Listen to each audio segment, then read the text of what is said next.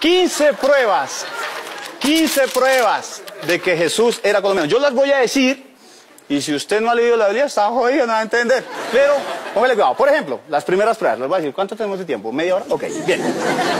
La primera prueba que demuestra que Jesús era colombiano es que los papitos fueron desplazados por la violencia. Sí, sí, lo sacaron. Si usted no ha leído está jodido. Bien. Segundo, nació en un barrio pobre, pobre, pobre y aún así le hicieron baby shower. Así somos los pobres recursivos. Tercero, siempre andaba en busca de la paz.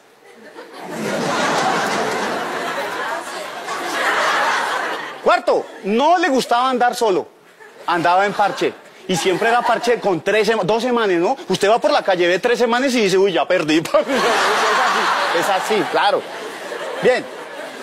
Quinto, y una de las más importantes, andaba siempre con el pelo largo, barba y sandalias, que es estudiante de la Nacional. ¿Sí o no? Es así, es así,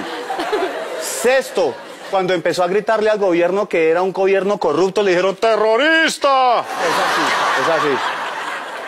Séptimo, una muy importante, vivió hasta los 30 años con los papás. sí, claro, porque el man era sabio, era sabio. Octavo, cuando iba con Pedro en la lancha, que la lancha estaba así toda...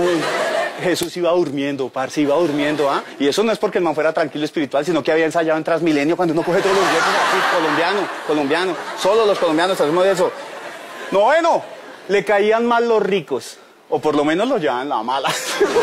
es verdad. Décimo, estaba rodeado de pobres y cada día más y más y más. Haga de cuenta el sur. El sur está jodido, estamos jodidos, estamos jodidos. El sur es el paraíso del ojo de la noche. Uy, Dios mío. Sí. Once, cuando el ejército lo fue a buscar, ¿quién lo sapió?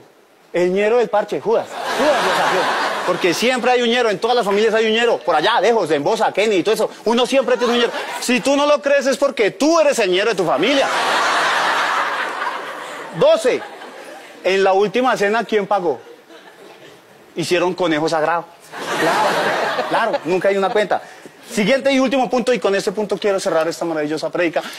Esto demuestra que Jesús era colombiano, y es que fue condenado mientras el verdadero ladrón fue liberado. Señores y señores, no importa de dónde era Jesús, no importa de dónde eres tú, lo importante es que lo llevemos en el corazón. Y sigan sonriendo.